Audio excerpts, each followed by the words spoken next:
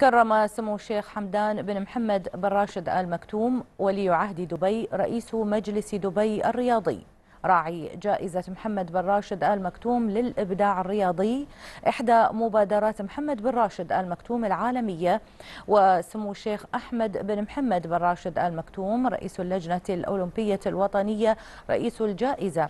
كرم الفائزين ب فئات الدورة الثامنة من جائزة محمد بن راشد آل مكتوم للإبداع الرياضي من القيادات الرياضية المحلية والعربية والرياضيين والمدربين والحكام والمسؤولين من مختلف قطاعات العمل الرياضي في دولة الإمارات العربية المتحدة والوطن العربي والعالم.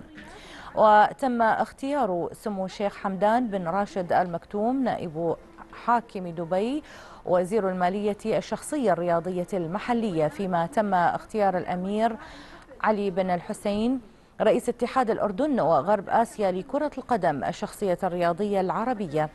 وتسلم سمو الشيخ ناصر بن حمد آل خليفة وسام الفريق العربي وذلك لفوز الفريق الملكي البحريني للقدرة بلقب الفئة.